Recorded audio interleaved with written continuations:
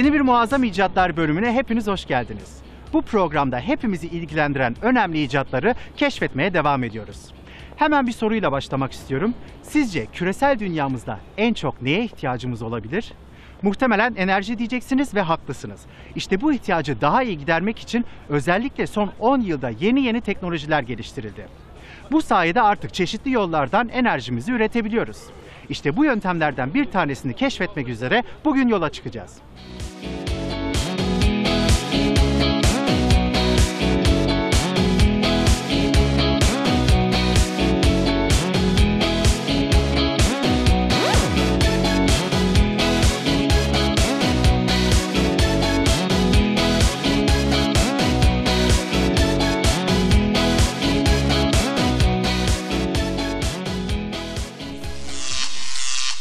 Çöpümüzü atmak günlük ev işlerimizden bir tanesidir. Ama eminim ki birçoğumuz bu atıkların toplandıktan sonra nasıl bertaraf edildiğini düşünmüyordur bile. Peki size bu poşetlerin içindekilerin evinize elektrik veya ısı enerjisi olarak geri dönebileceğini söylesem? Evet doğru duydunuz. İşte bu işlem atık yakma tesislerinde gerçekleşir. Tabii bunun için çöplerin önce çeşitli aşamalardan geçmeleri gerekiyor. İsterseniz bunun perde arkasını hep beraber izlemeye gidelim.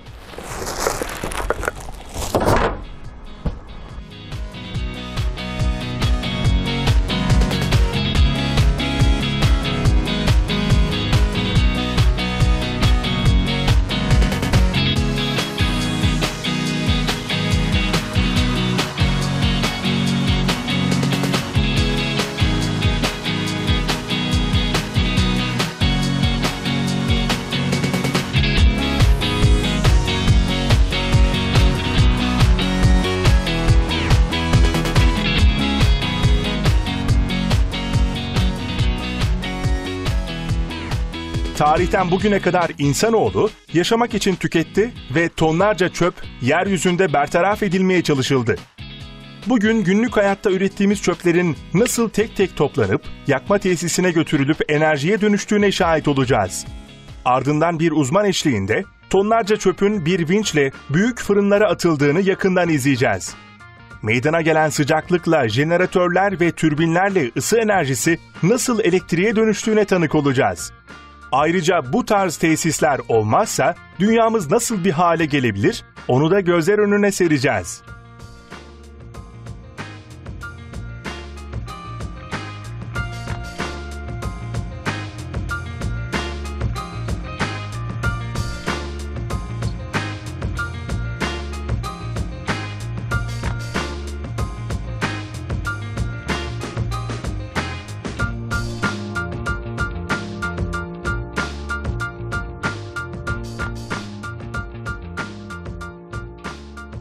İnsanlar yeryüzünde var olduğundan beri çöp üretirler. Binlerce sene kıyafet ve yemek artıkları herhangi bir yere atılırdı. Atıklar yakılırdı, gömülürdü veya hayvanlara yem olarak verilirdi. Milattan önce 3000'li yıllarda Knosos'ta ilk çöp dağının oluştuğu literatüre geçti. İlk atık bertaraf etme tesisi milattan önce 2000'de Çin'de inşa edildi. Bu tesiste organik atıklar kapalı alanlarda muhafaza edilirdi. Atina'da M.Ö. 500'de atıkların şehirden en az 2 kilometre uzaklığa atılması için bir yasa çıkarılmıştı. Orta Çağ'da ise insanlar atıklarını sokağa atarlardı veya kendi arazilerinde toplarlardı. Bu yüzden birçok şehrin ve kasabanın sokakları çok ağır kokardı. O zamanlar atıkların çoğu organik maddelerden oluştuğu için çöpler kendiliğinden doğaya karışır ve bertaraf olurdu. Avrupa'da 14. yüzyılda kara veba salgını nüfusun üçte birini yok etti. Bu salgından sonra bu tür hastalıkların atıkların bertaraf edilmemesiyle alakalı olduğu düşünüldü. Ancak 18. ve 19. yüzyılda sanayi devrimi gerçekleşip organik olmayan atıkların çoğalmasıyla atık bertaraf yöntemleri giderek önem kazanmaya başladı. 1882'de Robert Koch tüberküloz hastalığını buldu. Bu hastalığın en önemli nedenlerinden birinin temizlik koşullarının yetersizliği olduğu kesinleşti. Bu sebepten dolayı Avrupa'da sistematik şekilde çöplerin toplanması kararlaştırıldı. Dünya nüfusu arttıkça atıklar da çoğalıyor. Bu da daha yeni ve etkileyici teknolojik sistemlerin artması gerektiğini gösteriyor.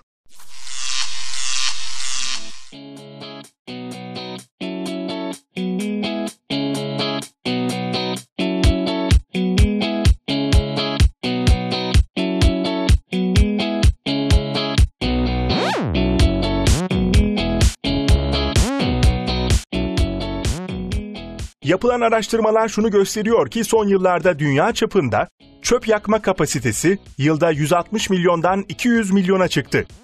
Yakın zamanda çöp yakma piyasasının yılda 240 milyon tona çıkması bekleniyor. Özellikle dünyanın büyük şehirlerinde tesislere ihtiyaç duyuluyor çünkü nüfusun yoğun olduğu yerlerde yüksek miktarda olan çöpü işlemek oldukça zor oluyor.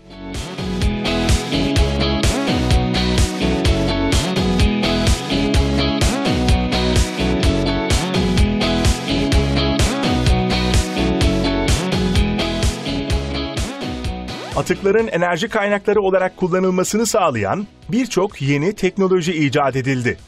Bu teknolojiler kuru çöpleri enerjiye dönüştüren basit sistemlerle veya büyük miktarda sanayi atıklarını işleyen yüksek teknolojiyle çalışırlar. Atıkları enerjiye çevirmek için üç temel metot kullanılır. Termokimyasal, biyokimyasal ve fizikokimyasal. Termokimyasal dönüştürmede piroliz denilen bir işlem uygulanır. Piroliz toplanan çöplerdeki cam ve metallerin ayrıştırılmasından sonra geri kalan organik maddelerin havasız bir ortamda ısıtılarak gaz, sıvı yakıt ve kömüre dönüştürülmesi işlemidir. Bu işlemin gerçekleştiği fırınlar aşındırıcı gazlara dayanıklı bir yapıya sahiptir. Biyokimyasal dönüştürme, anaerobik çürüme ve fermentasyondan oluşur. Bu metot özellikle çevreye zarar vermeden toprakta çözünebilen maddeler ve nemli atıkları içerir. Anaerobik çürüme, ıslak ve organik atıklarda kullanılan güvenilir bir işlemdir. Çeşitli kaynaklardan organik atıklar bir arada yüksek derecede kontrol altında tutularak, oksijen içermeyen bir ortamda gübrelenerek biyogaz haline getirilir. Bu enerji kaynağıyla elektrik ve ısı enerjisi üretilir. Aynı zamanda anaerobik çürüme sonucunda geriye kalan kalıntı toprak bakımına yararlı bir madde olarak kullanılır. Fiziko-kimyasal, katı atıkların fiziksel ve kimyasal zararlarını azaltan bir işlemdir. Bu işlemde katı atıkların içinden yakılmayan parçacıklar ayrıştırılır ve ardından geri kalan atıklar kurutulur. Kurutulduktan sonra yakıt peletlerine dönüştürülür. Yakıt peletleri ısı gerektiren tüm alanlarda kullanılır. Kömürle oduna oranla daha çok avantajları vardır. Çünkü daha temizdir, üstelik zararlı maddeler içermez, ayrıca ekonomiktir.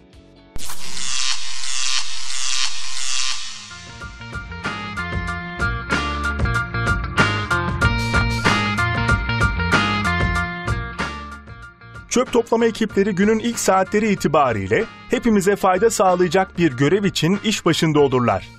Her sabah saat 6 ile 15.30 arası belirli aralıklarla çöpleri toplarlar.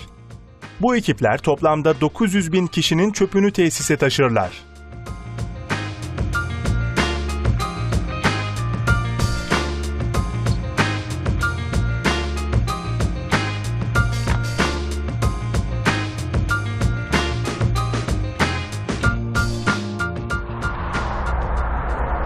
On binlerce haneye ara vermeden enerji yetiştirebilmek kolay bir iş değil.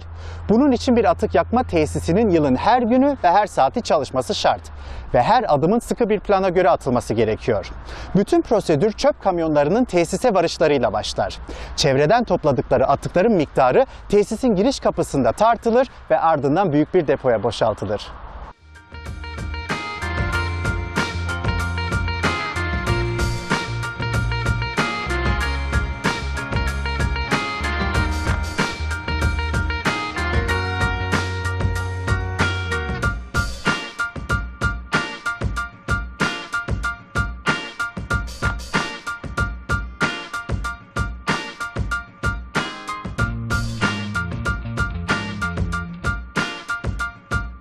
Çöpün depoya boşaltılması dışarıdan gördüğümüz işlemdir. Peki ya içeride tam olarak neler oluyor? Tonlarca çöpün yakılmasıyla ne kadar enerji üretiliyor? Bu işlemin her adımını yakından izlemek için Bay Milke ile buluştum ve bana tesisi gezdirdi.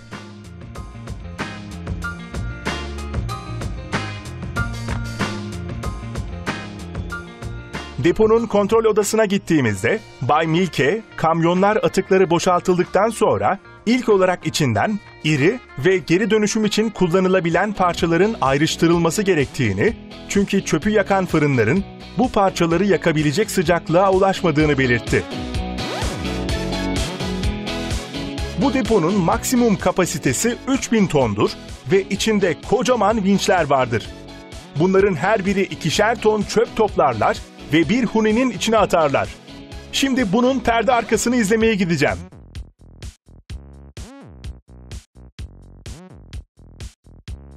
Burada mıydınız Bay Milke?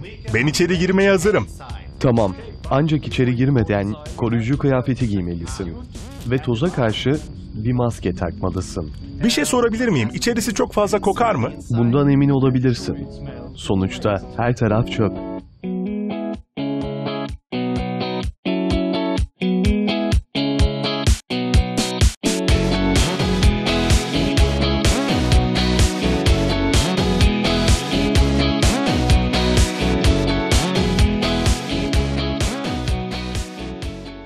Çöp alanı o kadar tozlu ki maske takmama rağmen tozu hissetmemek elde değil. Burada binlerce ton atık her gün yenilenebilir enerjiye çevriliyor. Peki bu kadar atığın bertaraf edilmediğini düşünecek olursak? Illinois Üniversitesi'nin yaptığı bir araştırmaya göre çöp yakma tesisleri ve alternatif bertaraf yöntemleri gelecekte geliştirilmediği takdirde dünyamız büyük bir tehlikeye girer. Günümüzde atıklarımızın birçoğu çöp alanlarında birikiyor. Bunun önlemi alınmadığı takdirde çöplerden çıkan zehirli maddelerin birikmesi ve havaya karışmasıyla ciğerlerimiz ciddi anlamda zarar görebilir.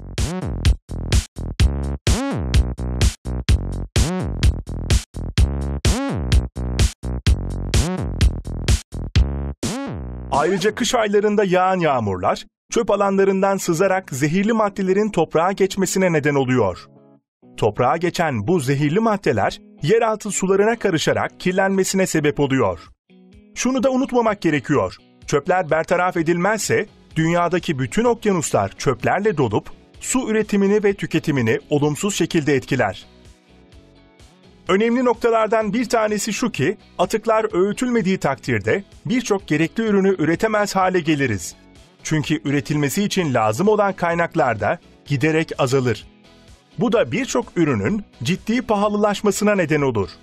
Atıkların hepsi çöp alanlarında toplanırsa eğer, salınan sera gazının miktarı da ciddi anlamda artar ve bu da doğaya büyük zarar verir. Ozon tabakası doğayı ve canlıları güneşin zararlı mor ötesi ışınlarından koruduğunu biliyoruz. Biriken çöplerin saldığı gazlar ozon tabakasına yükselir ve daha da incelmesine neden olur. Ozon tabakasının koruyucu özelliği azalır. Diğer bir önemli nokta ise çöplere atılan piller.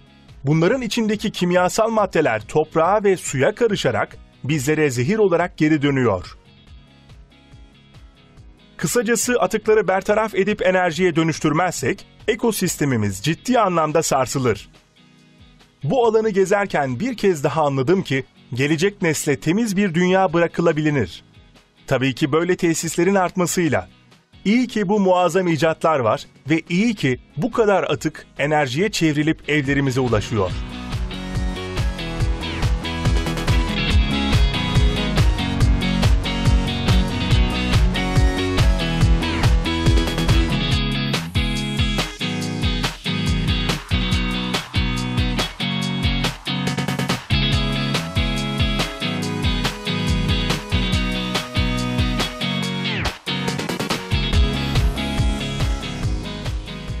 Huni'ye boşaltılan atıklar artık çöp yakma fırınlarına girmek için hazır. Esas önemli noktaya şimdi geçiyoruz. Fırınların sıcaklığı yakılan maddelere göre 900 ile 1200 derece arasında olur. Bazı zehirli kimyasal maddeler ve başka zararlı atıklar da bu tesiste yok edilir. Örneğin tıbbi atıkların içerdikleri zarar verici toksinlerin tamamen yok edilmesi için mutlaka yüksek derecede yakılmaları gerekiyor.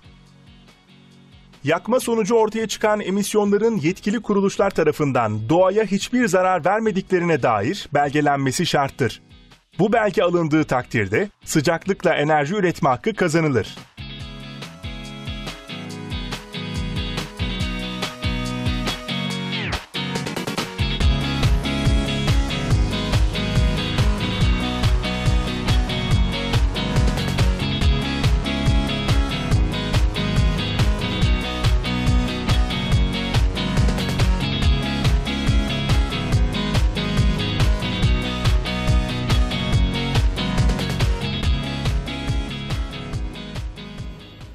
Atıklar yaklaşık 1200 derece sıcaklıkta tam 45 dakika boyunca yakılır. Nadir durumlarda başka yakıta ihtiyaç olmuyor. Bazı maddeler aşırı nemli olduğu takdirde gaz memesi kullanılarak daha rahat bir şekilde yakılması sağlanır.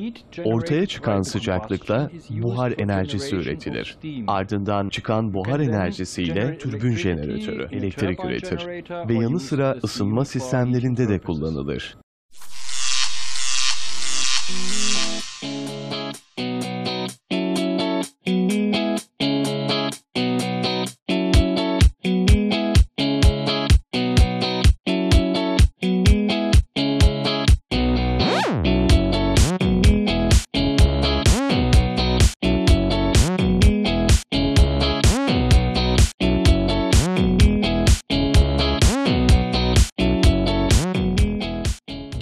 Kalan yakılmış çöplerin külleri büyük bir havuza düşer ve orada muhafaza edilir.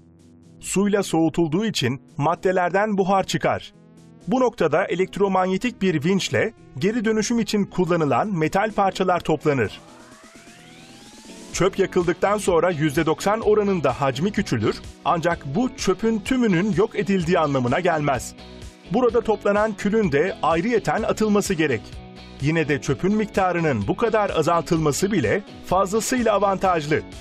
Aksi takdirde bütün bu atıklar çöp alanında toplanacaktı. Yakılarak ortaya çıkan enerjinin nasıl evlerimize ısı veya elektrik olarak döndüğünü gelin hep beraber öğrenelim.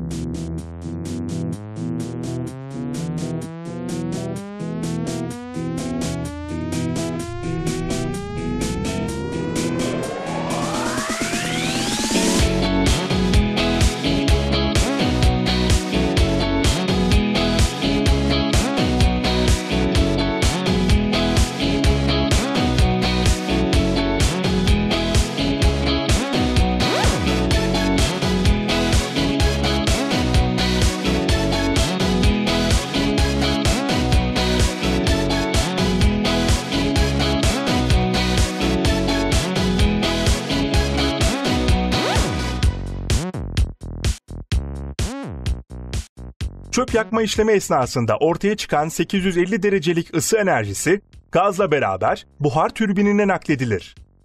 Burada gazla su birbirinden ayrılır. Gaz, gaz yıkama adında olan bir prosedürle temizlenirken, suysa bulunduğu türbinin içinde ısınır ve buharlaşır. İşte bu aşamada tesisin jeneratörleri buhardan elektrik ve ısı enerjisi üretmeye başlar. Bu tür jeneratörler en fazla 10 megawatt üretebilme kapasitesine sahiptir. Ortaya çıkan enerji elektrik şebekesine aktarılır ve oradan direkmen tüketicilerin evlerine dağılır. Bu buhardan 10 bin haneye yetecek kadar enerji çıkar. Ayrıca daha fazla enerji üretebilen tesisler de vardır.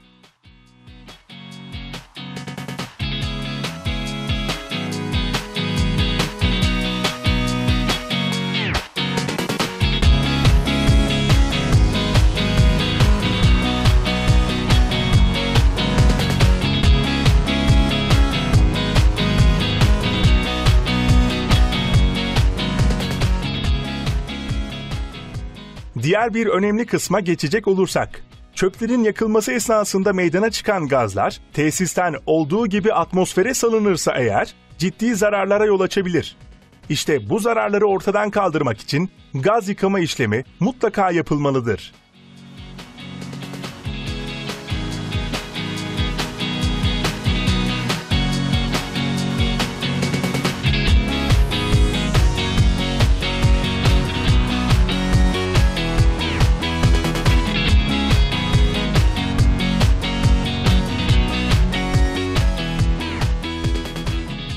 Bu çöp yakma tesislerinde gaz yıkama işlemi iki aşamadan oluşur. Bunlar kuru ve ıslak gaz yıkama işlemleridir. Kuru gaz yıkama esnasında kuru gaz yıkama makinesi en küçük parçacıkları gazdan ayrıştırır ve daha saf bir hale getirir. Ardından bu saflaştırılmış gaz ıslak gaz yıkama prosedürüne geçer. Bu işlem de başka bir makinede yapılır.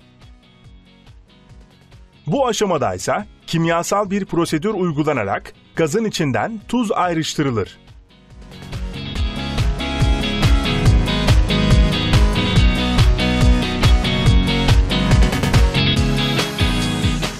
Bundan sonra son bir işlem daha yapılır. Azot oksit giderme ünitesinde gazın içinden zehirli maddeler yok edilir. Bu sayede gaz tamamen zararsız bir halde tesisin bacasından havaya salınır.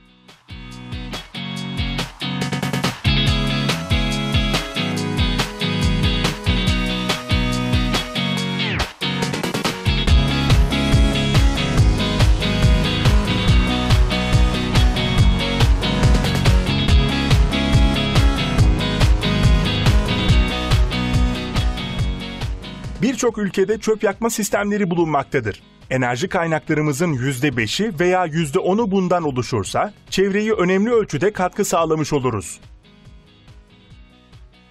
Şunu önemli belirtmek gerekir ki, bu sistemin devamlılığının olması için her bireyin katkıda bulunması şarttır.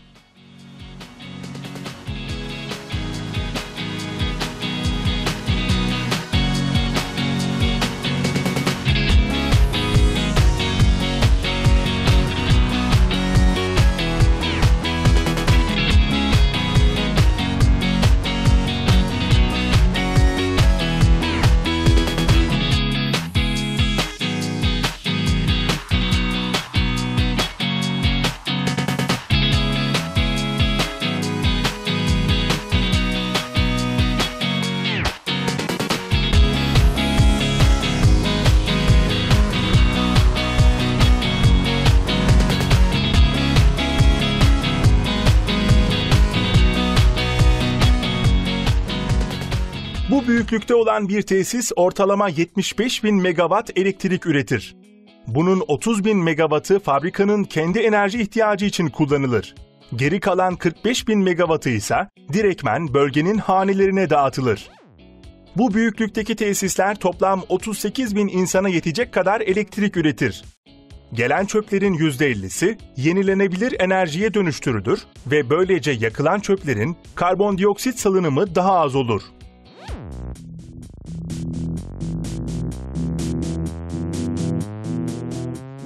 Çöp tesislerinin nasıl sistemle çalıştıklarını ve neden bu kadar önem taşıdıklarını öğrendik. Peki atık yakma ve enerji üretme sisteminde gelecekte bizleri neler bekliyor?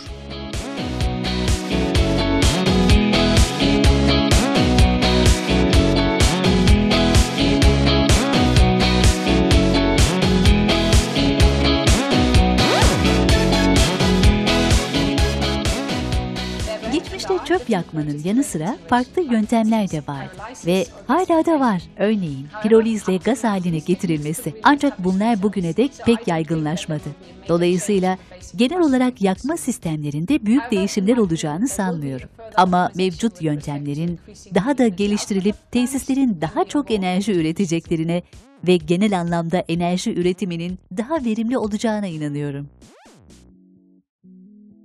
Dünya çapında kaç kişi bu sistemin faydalarından yararlanabilir ve özellikle hangi ülkelerde bu metot yaygındır? Ayrıca çevre duyarlılığının yaşla bir bağlantısı var mıdır? Yani çevre koruma konusunda gençler mi yoksa ileri yaş grupları mı daha duyarlıdır?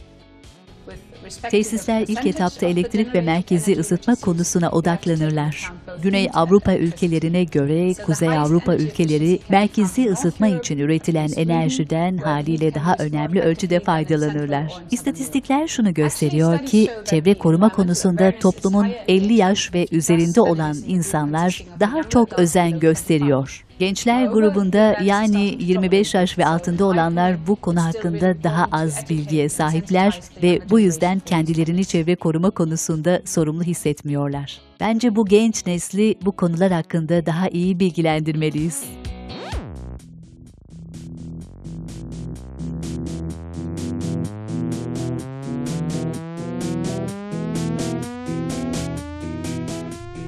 Çöpten enerjiye dönüşüm, çöpün yakılmasıyla gerçekleşir. Etkili bir şekilde enerji üretimini sağlamanın yanı sıra tekrardan enerji kazandıran bir yöntemdir. Atıkların çöplüklerde toplanmasının daha yararlı bir alternatifidir. Dünyada faydalı bu metot muazzam bir icattır.